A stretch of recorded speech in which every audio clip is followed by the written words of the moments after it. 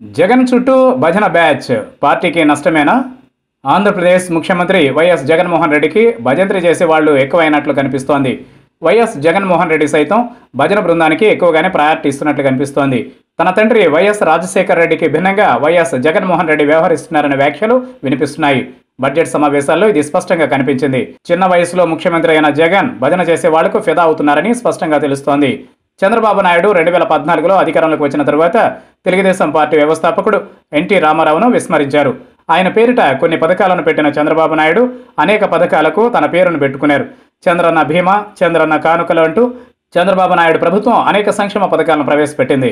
చంద్రబాబు నాయుడు కూడా భజన బృందం ఆటలో చిక్కుకుని పథకాలకు తన పేర్లను పెట్టుకున్నారు.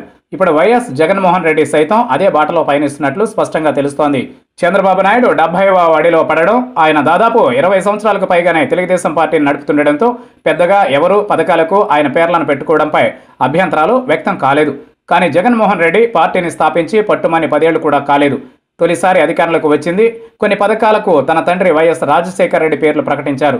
కానీ మరికొన్ని పథకాలకు తన పేరును పెట్టుకోవడం చర్చనీయాంశమైంది. జగనన్న అమ్మఒడి జగనన్న విద్యాదీవన అంటూ కొన్ని పథకాలకు ముఖ్యమంత్రి వైఎస్ జగన్మోహన్ రెడ్డి పేర్లను పెట్టేశారు.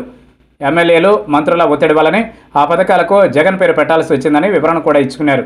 ఎందుకంటే ఈ పథకాలు జగన్ మెదడులో నుంచి వచ్చినవంటూ తమకు తామే వైసీపీ నేతలు సర్ది చెప్పుకుంటున్నారు. కానీ భజన బృందాల వలలో పడి వైఎస్ జగన్మోహన్ రెడ్డి సైతం చంద్రబాబు నాయుడులాగే వ్యవహరిస్తున్నారనే టాక్ రాజకీయ వర్గాల్లో నడుస్తోంది. ఇకనైనా వైఎస్ జగన్మోహన్ రెడ్డి ప్రజాభిప్రాయాన్ని తెలుసుకుని వ్యవహరిస్తే మంచిదంటున్నారు.